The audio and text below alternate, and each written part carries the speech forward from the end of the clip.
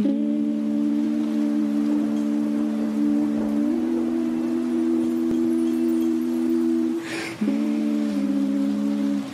so sick of this shit. Please tell me what the fuck is worse than this. People lying, people dying, families crying. Look us in the eyes, they lying about all of it. I'm so sick of this shit and these awful politicians. I just wanna. If I could, I would imprison them and get someone, get sick.